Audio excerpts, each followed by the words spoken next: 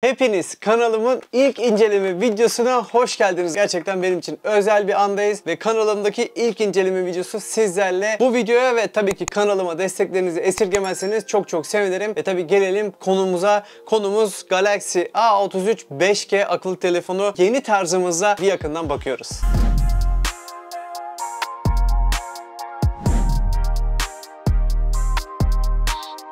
Yeni tarzımız dedim. Bu yeni tarzda sizlere doğrudan ürünün beğendiğim özelliklerini söylemeye başlayacağım. Dolayısıyla hani konuyu uzatmadan aslında durumu netleştirmiş oluyor olacağız. Elimde tutmakta olduğum bu akıllı telefonda 5G desteği bulunuyor. Bir de IP67 süre ve toza karşı dayanıklılığı bulunan bir telefonla karşı karşıyayız. Şimdi bunlar güzel detaylar tabi. Stereo hoparlörler bulunuyor cihazın üzerinde. Ekrandan parmak izi okuyucu yine bu akıllı telefonda bulunuyor. Kameradaki o desteği bence bu akıllı telefon artılarından bazıları olmuş. Galaxy A33 5G neredeyse ekranı dışındaki her yerinde plastik malzemeyle üretilmiş bir akıllı telefon arkadaşlar. Böyle bir akıllı telefonla belki bir tık kalitesizliği hissedebilirsiniz normal şartlarda ancak bu cihazda böyle bir kalitesizlik hissetmiyor olmamız bana sorarsanız güzel bir avantaj olmuş. Bu akıllı telefon Çin'de tasarlanıyor, parçaları vesaire Çin'de üretiliyor ama ülkemizde birleştirilen bir model. Ben doğrudan cihazın artılarıyla başladım ama şimdi isterseniz videonun kalan kısmında da telefonun eksilerinden bahsetmeye devam edeyim. Kutu içeriğinde bir adaptör olmuyor olması arkadaşlar bana sorarsanız bu seviyede bir cihaz için önemli bir hata. Yani A serisinden de adaptör kalkmasaydı çok daha doğru bir karar olurdu diye düşünüyorum. Hadi amiral gemisinden kaldırdınız ama bari A serisini bunu yapmasaydınız çok daha iyi olurdu diye düşünmekteyim. Ekrana gelince bu cihazın ekranında teknik anlamda Samsung'un ben ekran paneli üreticisiyim kardeşim dediğini duyar gibiyiz. Çünkü ekran hakikaten teknik anlamda bayağı dolu bir panel. 90 Hz'lik bir panel bizleri karşılıyor. 6.4 inçlik bir ekran bizleri burada karşılıyor gibi gözükse de aslında bizim çerçeveler dışında gerçek ekran boyutuna baktığımızda gördüğümüz ekran 6.2 inç boyutunda. Ekran çözünürlüğü vesaire bunları bir kenara koyuyorum. Şu anda onlara girmeyeceğim. Video boyunca da girmeyeceğim. Ancak beni şurada rahatsız eden bir detay var. Ekran çerçeveleri hakikaten çok özensiz olmuş. Çünkü üst tarafta önemli bir siyahlık var. Alt bölümde önemli bir siyahlık var. Sağdan da soldan da böyle bir özensiz kesim var. Tamam bu cihaz tabii ki A serisinin en iyisi değil. Ama teknik anlamda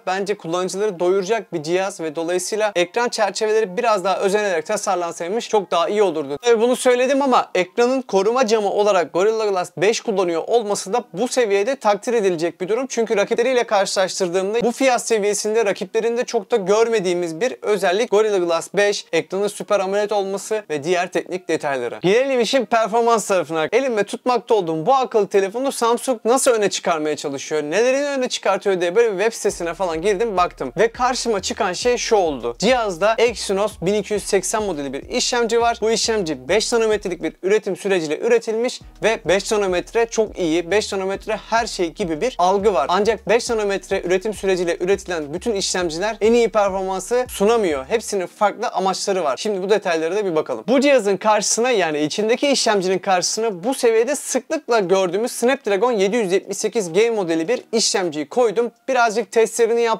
karşılaştırdım. İkisinin arasındaki sonuçları özetlemem gerekirse Snapdragon işlemci 6 nanometrelik bir üretim süreciyle üretilmesine rağmen maalesef bu akıllı telefondan daha iyi bir performansı bizlerle buluşturuyor. Tabi bunlar günlük hayatta çok böyle hissedeceğiniz, çok fark edeceğiniz şeyler değil. Ancak tabii ki daha iyi bir performans ortaya koyduğu kesin. Yani arasındaki o üretim süreci farklılığı performansa bir etki etmiyor. Ancak şöyle bir durum var ki bu cihaz diğer işlemciye göre çok daha az tüketiyor enerjiyi. Verimlilik anlamında bu işlemci biraz daha öne geçiyor. Ben bu karşılaştırmayı yaptım çünkü merak ettim. Dedim ki yani bu adamlar bunu bu kadar öne çıkarmış bir birlikleri vardır herhalde dedim ve bu işlemciyi de ilk kez gördüğüm için, ilk kez test etme fırsatına eriştiğim için böyle bir test yaptım. Benim ortaya çıkardığım sonuç bu şekilde. Bu günlük hayatınıza bir olumsuzluk katar mı derseniz bence katmaz. Hatta şöyle bir durum var. Daha uzun süreli cihaz kullanabilmeniz açısından da buradaki verimliliğin öne geçiyor olması bir tık daha iyi bir şey diyebilirim sizlere. Akıllı telefondan bir amiral gemisi performansı beklememeniz gerektiğini sizlere canı gönülden söylemek isterim. Gelelim işin RAM ve depolama kısmına. Bu akıllı telefonda doğrudan 6 GB bir RAM bulunuyor. 128 GB'da bir dahili depolama var arkadaşlar. Tabi bu depolamadan RAM'e bölme durumu baya popüler oldu son dönemde Android cihazlarda. Bu akıllı telefonda da aynı durumu görüyoruz. İsterseniz depolama tarafından bir sanal RAM oluşturarak bu cihazı 12 GB'a kadar çıkartabiliyorsunuz RAM anlamında. Micro SD kart takarak da 1 TB'a kadar hafızayı yükseltebiliyorsunuz. Ancak burada bizi hibrit sim çekme çekmecesi karşılıyor ki ben bunu çok eleştiriyorum. Yani şimdi bu cihaz çift simli arkadaşlar ama eğer bu cihaza ben micro SD kart takacağım derseniz bir tane sim karttan vazgeçmeniz gerekiyor. Yani Samsung ya da bu tarz üretim yapan markalar size diyor ki ya iki tane hattınızdan birinden feragat edin ya da depolamanızı arttırmayın. Yani ikisini birden aynı anda kullanmanıza maalesef müsaade edilmemiş bu modelde de ki ben bunu her zaman zaten çok eleştiren bir teknoloji editörüyüm. Bu akıllı telefonun orta seviye işleri rahatlıkla yapabildiğini sizlere söyleyeyim. Oyun performansı anlamında oyun oynadım tabii ki. Yaptığım testlerde oyunda da hani grafik ayarlarını orta üstüne çıkarmak çok mümkün olmuyor. Çıkardığınızda farklı sonuçlarla karşılaşabiliyorsunuz ki oyun müsaade ediyorsa ki PUBG buna müsaade etmedi zaten. Orta ayarlarda oyunlar oynamak istiyorsanız günlük işlerinizde bu telefonu kullanabilirsiniz ve tabii orta seviye işlerde yapıyorsanız yine bu telefonu tercih edebilirsiniz. Gelelim kameralara. Bu akıllı telefon kamera dizilimi anlamında güçlü bir dizilim ile geliyor. Kağıt üstünde baktığınızda kameranın teknik detayları insanı heyecanlandırmıyor değil. Ancak pratikte yine ufak tefek olumsuzluklar var. Ana kameramız 48 megapiksel ve 48 megapiksellik bu ana kamera f1.8 diyafram oranıyla bizlerin karşısına çıkıyor. İçerisinde bir OIS sistemi var yani optik imaj sabitleyici var.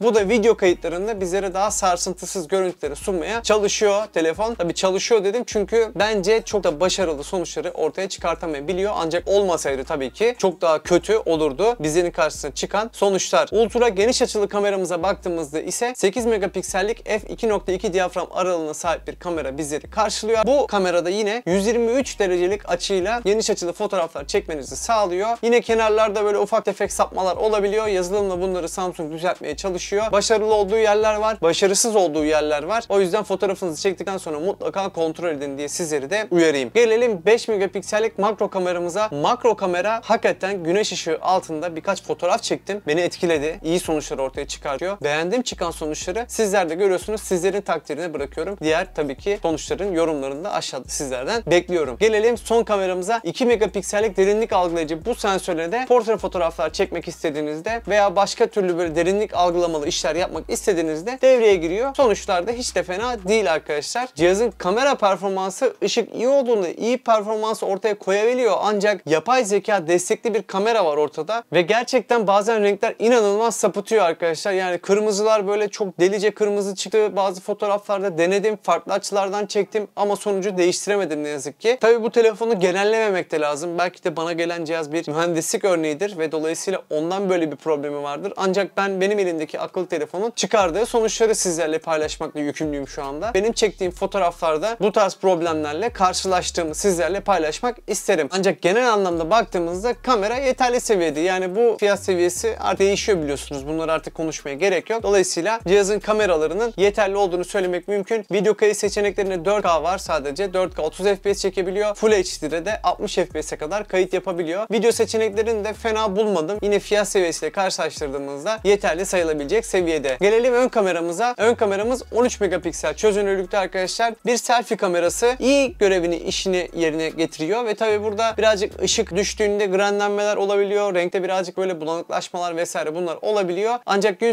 sonunda biraz daha geniş bir açıyı da bizlere sunabiliyor olması bence güzel bir avantaj oluyor bu akıllı telefon için. Cihazın içerisinde 5000 mAh'lik bir pil var. Bu pilin 2 güne kadar pil ömrü sunduğunu iddia ediyor Samsung. Ancak ben yaptığım testte 1,5 günü biraz zorlayarak çıkartabildim. Yoğun bir kullanımda bir gün götürür. Ekran parlaklığını sonuna kadar açıp bir yoğun kullanım yaparsanız da bir gün götürmesi çok da mümkün değil arkadaşlar. Normalde cihazın 25 wattlık bir hızlı şarj desteği var. Ancak kutudan az önce de gördüğünüz üzere kablo dışında bir adaptör çıkmıyor. Satın alırsınız 25 watt'a kadar bir hızlı şarjı bu cihazda kullanmanız mümkün oluyor. Son değerlendirmeye doğru giderken cihazın fiyatını söyleyeceğim. Bir de şöyle bir kılıf var. Kutudan çıktı zaten. Yani bana yollamışlar sağ olsunlar. Öyle üstüne takayım siz de görün. Hani kutusunun içeriği nasıl vesaire bunları da sizler yine görüyor olursunuz şu anda ama hani ben fiyat anlamında bu kılıfın Türkiye fiyatını bulamadım arkadaşlar. Bayağı araştırdım ancak karşıma çıkmadı. Fena bir kılıf değil. Telefona yakışıyor. Türkiye'ye gelirse fiyatı alınabilir seviyede olursa alınabilir. Çünkü telefona farklı bir hava katıyor gerçekten. Güzel de oluyor. Siz de beğenmişsinizdir diye düşünüyorum. Ancak bu akıllı telefonun şu anda piyasada bulabileceğiniz fiyatları 5800-6000 TL bandında arkadaşlar. Şimdi bu cihazı satın alayım mı almayayım mı sorusunda ben sizlere herhalde bu videoda aktarabilmişimdir diye düşünüyorum. Çünkü eksilerini artılarını söyledim. Son kararı da sizlere bırakayım. Ancak bu seviyede bir göz atabilirsiniz diye düşünüyorum. Fiyatlar çok oynak biliyorum farkındayım. Piyasa da çok farklı noktalara gitti. Böyle bir piyasada böyle bir durumda son kararı ben her zaman olduğu gibi sizlere bırakıyorum. Artılar eksiler sizlerde. Yorumlarda da cihaz hakkında ve bu video hakkındaki yorumlarınızı bekliyorum. Kanala abone olmayı ihmal etmeyin. Bir sonraki videoda görüşene kadar kendinize çok iyi bakın efendim. Hoşçakalın. Bay bay.